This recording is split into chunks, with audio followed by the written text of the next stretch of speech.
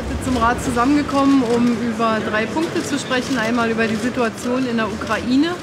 Hier ist nach dem Besuch des ukrainischen Präsidenten beim letzten Rat leider nicht viel passiert, was ähm, die Umsetzung unserer Erwartungen auch anbelangt. Es sind keine Geiseln freigelassen worden, es ist keine Grenzsicherung geschafft, die Kontaktgruppe arbeitet nicht.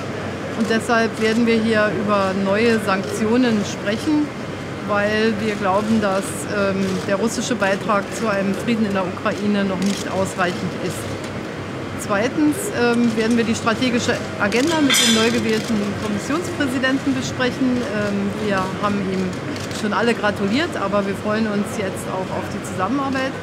Und drittens geht es um Personalfragen. Hier kann es sehr gut sein, dass es nur eine erste Diskussion gibt und dass heute die Entscheidungen noch nicht getroffen werden. Ich bin dafür, dass wir, wenn wir entscheiden, dann auch die offenstehenden Fragen sehr umfassend klären.